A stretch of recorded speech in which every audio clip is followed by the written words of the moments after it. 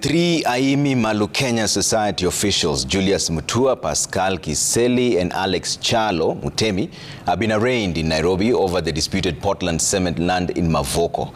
The three are among suspects also questioned by the Directorate of Criminal Investigations last week over land fraud belonging to the East African Portland cement, where thousands of families were rendered homeless and after their houses were demolished. Ayub Abdikadir has more.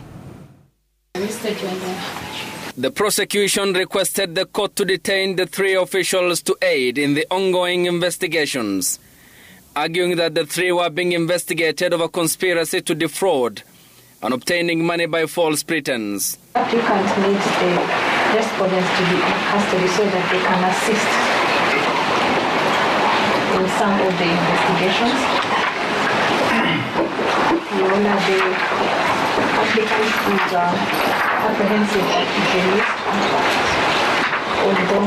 the complainant, the managing director of the East African Portland Cement, to which the land in Mavoko belongs, told the court that the three were part of a web of network involved in illegal land sale to unsuspecting Kenyans.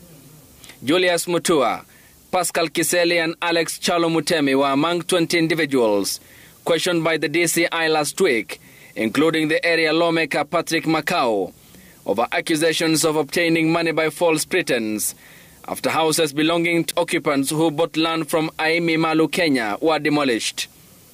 The Environment and Land Court in Machakos County on the 9th of October dismissed a suit by the Farmers Association of a failure to serve the defendants in the case with amended pleadings. Following the lapse of the 21 day window to serve the defendants, Justice Annette Nyukuri struck out the case of a failure by the plaintiff to serve its own documents as directed by the court.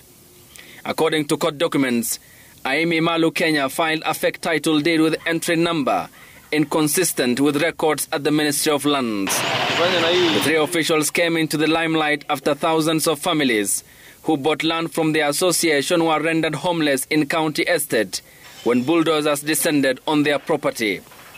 An estimated 10,000 families have been affected in the demolitions, according to the Residents Association.